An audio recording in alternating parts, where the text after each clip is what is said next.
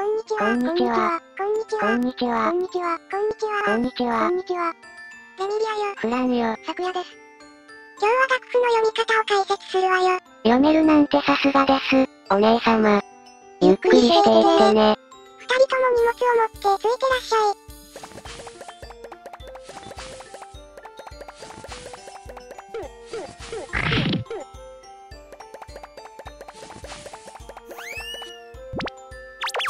何が入ってるんですかお嬢様？えー、っとね私楽譜なんて読めませんよ。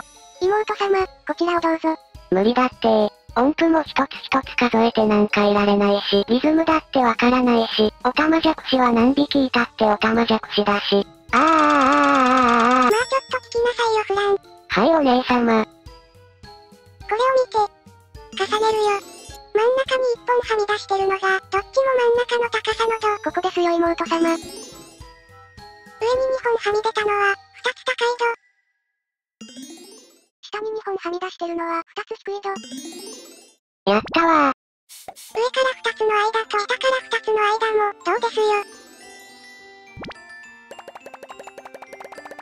えーや。なんなのこれ。ー。なんと、ドミソシ、レファラドー。ドミソシレファラドミソシレファラドミソシレファラドミソシレファラ。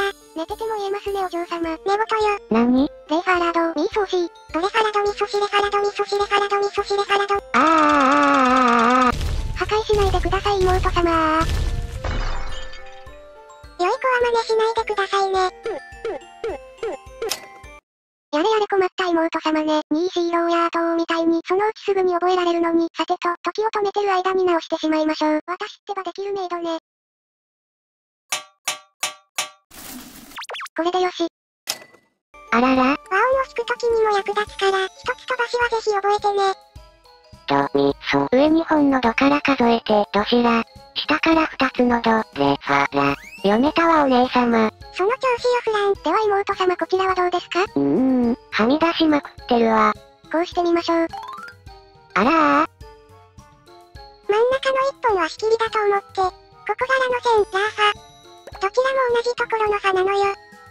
そうなのね。ファイトです妹様。と以外にも、一番上の線がファー一番下の間もファーとか、覚えている目印が増えていくと早く読めるよ。楽譜に振り仮名を書いているうちに覚えたわよ。さすがですお姉様。そ、そうかしら。私も頑張ってみます。ちなみになんですけど、何よ、もう、私の脳内はすでにパンパンよ。このマークたちなんですけど、あら、いいマークじゃないの。そうでしょう聞きます？聞きましょう。上のマークの渦巻きのところがソ、下のマークの渦巻きはファ、蕎麦屋のソ、蕎麦屋のソサーファーのファ、サーファーのファ。目印が2つ増えましたね。もう一つのマークは？くびれてるやつね。そうそう、くびれが真ん中の度ですよ。真ん中。真ん中。バッチリ覚えたわよお姉様。覚えたわねフラン。そうね。